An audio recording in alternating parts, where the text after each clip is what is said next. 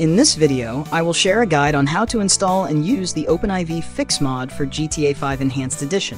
This mod's purpose is to open the OpenIV program with Grand Theft Auto 5 Enhanced Edition, and I will show you how to do exactly that. So welcome to GTA Wood. Leave a like, subscribe, and let's begin. First, you will need to open the page of OpenIV Fix and download the latest version from there. I would also like to give a massive shout out to the developer, and I request everyone to support them the best you can. Now, of course, you will also need OpenIV if you don't have it, and you can get that from here. To use the OpenIV program properly, you will also need one more mod, and that is the OpenRPF mod.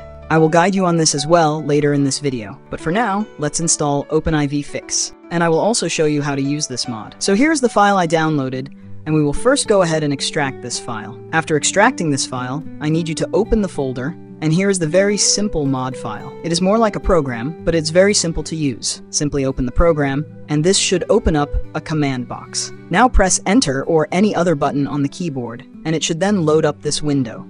Now all you have to do is open the GTA 5 Enhanced Game Directory folder. So I will do exactly that, but here are all the locations if you can't find the game folder. Once you find the game directory, select the game folder and hit OK.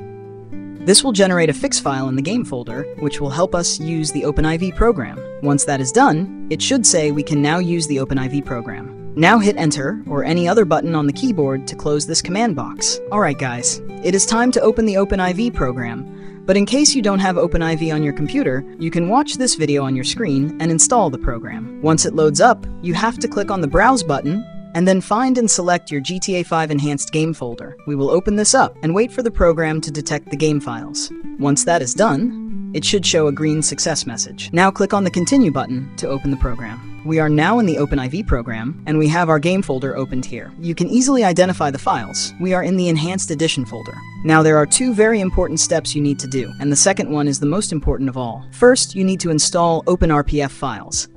To install them, we used to click on Tools from here, and go to ASI Manager, and we need the first two ASI add-ons in order to use and run mods in the game. But sadly, we can't just install them from here. To fix this problem, we will have to install these files manually. But lucky for you guys, I do have a detailed ASI loader tutorial for GTA 5 Enhanced Edition, and you can watch this video on your screen to follow the guide. And remember, I showed the OpenRPF mod at the start of this tutorial. Well, I have also installed that mod in this same video. The link is in the video description. Now the second important step you need to do is delete a file from your game directory. To do that, simply click on Edit Mode from the top section of the OpenIV program. Now scroll a little down in the files, and you need to look for the GTA5.exe file. Once you find that file, right-click on it and delete it. We are deleting this file because it is a custom file created by the OpenIV Fix mod and it can confuse your Rockstar Games launcher. Now this also means that every time you want to use the OpenIV program, you will have to use the OpenIV Fix mod. To make that easier, simply make a shortcut of the OpenIV Fix mod on your desktop and use that whenever you want to use OpenIV for GTA 5 Enhanced Edition. Also guys, check out this video on your screen to learn how to use the OpenIV program for both GTA 5 Legacy and GTA 5 Enhanced at the same time. If you found this video helpful, leave a like, subscribe,